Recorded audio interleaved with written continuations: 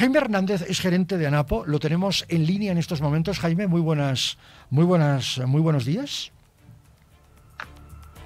Hola, buenos días. Eh, estamos aquí a sus órdenes. Jaime, ¿cuál es la reacción que tienen ustedes ante la respuesta de los grupos ambientalistas que se oponen a este nuevo evento de semilla transgénica en el país?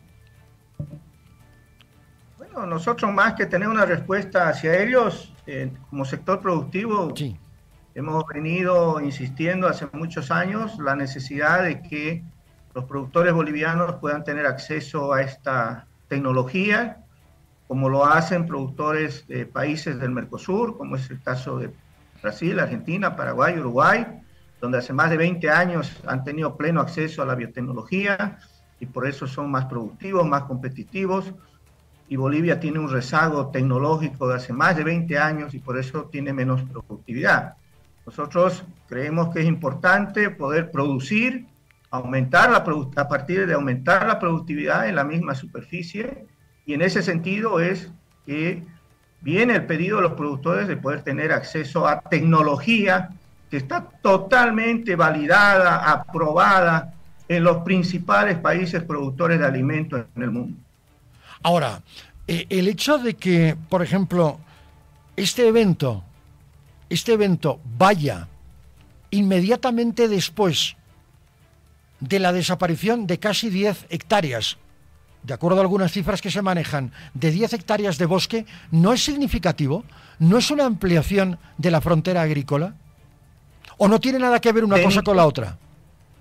De ninguna manera. Nosotros rechazamos enfáticamente esa desinformación que se está dando de parte de algunos eh, activistas, porque eh, las áreas, por ejemplo, en las que usted ha señalado, donde evidentemente lamentamos todos y nosotros también como sector productivo lo que ha ocurrido, no son áreas que, estén relacionadas con una vocación de uso para la agricultura.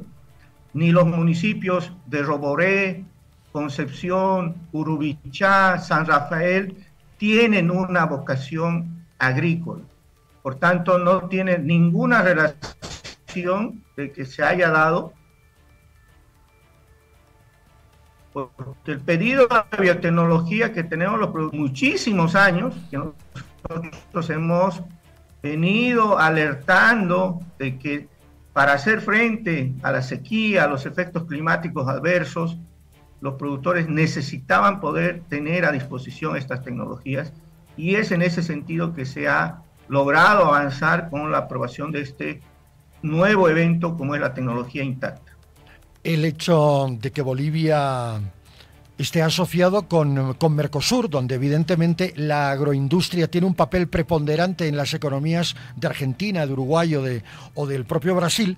Eh, ¿Ha sido determinante para la aprobación de este segundo evento de semillas transgénicas de soya, sobre todo soya? Yo creo que mm, evidentemente ha sido importante el poder eh, tener ingreso al Mercosur y que eh, al ser Bolivia miembro pleno ya de este bloque, eso significa pues que hay que competir en igualdad de condiciones, ¿no? Y para eso los productores bolivianos deberían también tener las mismas herramientas tecnológicas, porque si no, de lo contrario, este, no vamos a poder competir en el contexto internacional con nuestra producción. Sin embargo, creemos nosotros que lo que ha influido mucho más en la realidad en la cual se encuentra el país, donde tiene una menor producción, necesita que haya más exportaciones para precisamente poder traer divisas para el país. Se requiere que produzcamos más sin necesidad de tener que eh, recurrir a una ampliación de la frontera agrícola y eso pasa por tener una mejor productividad y creemos que ahí la biotecnología va a jugar un rol fundamental para que se pueda avanzar en ese sentido. El agro, el sector soyero puede contribuir de forma más significativa en aumentar la producción, en garantizar el abastecimiento de alimentos para el mercado interno y en tener más excedentes para exportar y traer divisas para el país. Solo el año 2023 la soya le ha generado al país más de 1.700 millones de dólares en divisas una cifra muy similar a, lo que generó los hidrocarburos, por ejemplo, el año pasado. En este sentido, se habla mucho también, incluso desde la propia ANAPO, y esto es muy importante de los productores de oleaginosas, de garantizar la seguridad alimentaria. Este, es una, este sí, evidentemente es un argumento que se puede sostener, ¿verdad? Por supuesto.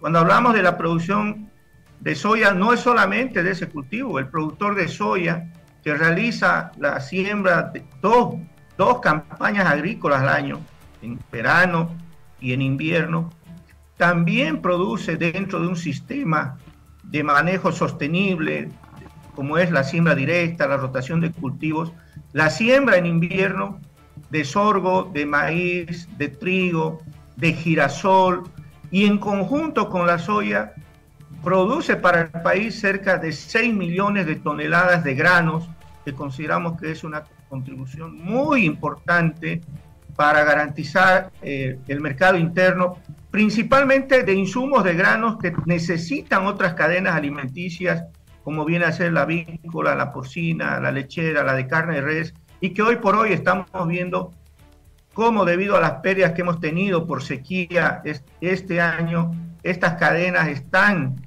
necesitando poder tener estos granos para también producir esos otros alimentos que son estratégicos para el país. Jaime Hernández, gerente de ANAPO, muchas gracias. Eh, muy amable por haber estado con nosotros esta hora de la mañana. Son las 7.41. Un abrazo hasta Santa Cruz.